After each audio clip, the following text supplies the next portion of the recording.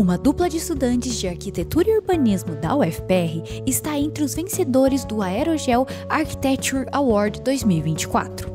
Guilherme Pinheiro e Amanda Sayuri Hashimoto conquistaram o prêmio com um projeto inovador para transformar o antigo Hotel Tássio, localizado no centro de Curitiba, em um museu, conservando sua história. A gente escolheu o Hotel Tassi. Foi um prédio assim que a gente já conhecia mais ou menos, a gente já passou na frente, né? A gente já viu as ruínas dele e a gente achou que foi uma ótima oportunidade assim para esse concurso. Inaugurado no final do século XIX, o Hotel Tassi é uma edificação histórica de alvenaria de tijolos, localizada na rua Barão do Rio Branco, em Curitiba. Após o um incêndio em 1990, o prédio foi tombado, mas desde então permanece inalterado. O prédio foi escolhido pelos estudantes tanto por sua história quanto por seu potencial.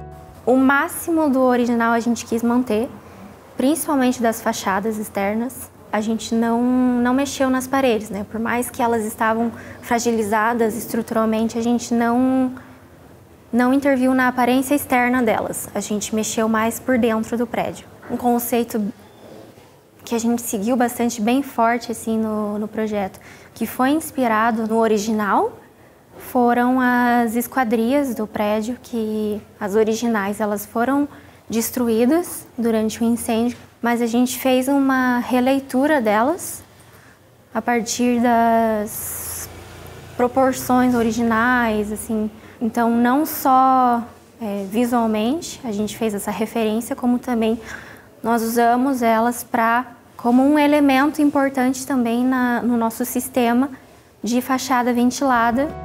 Projeto de Guilherme e Amanda propõe uma inovação para além do uso comum do aerogel, material super isolante que permite o controle térmico. O projeto Museu Tassi propõe um sistema estrutural em madeira para ancorar as paredes deterioradas e um sistema de drywall fixado por estruturas independentes. A fachada ventilada, com o uso do aerogel, garante controle térmico e evita a concentração de umidade. Uma das maiores dificuldades foi a gente aprender sobre o aerogel mesmo que é um material muito pouco usado assim no Brasil, eu acredito. Ele é muito mais explorado nesse meio assim da arquitetura, né, na construção, mais para lá, né, na Europa, assim, em lugares mais frios.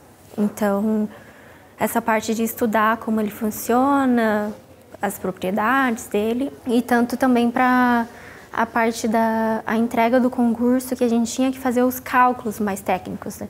Então tinha toda essa parte que a gente teve que ir bem atrás, assim. O uso que a gente inovou mais foi num, numa espécie de fachada ventilada. Essa fachada ventilada funciona de maneira oposta ao que funciona no, na atualidade, assim.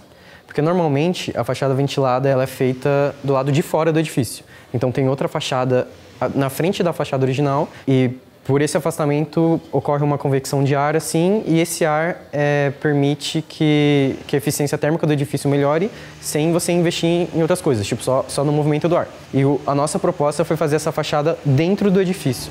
O Aerogel Architecture Award é organizado pela EMPA, Instituição Suíça de Pesquisa para Ciência e Tecnologia, com apoio de fabricantes da área.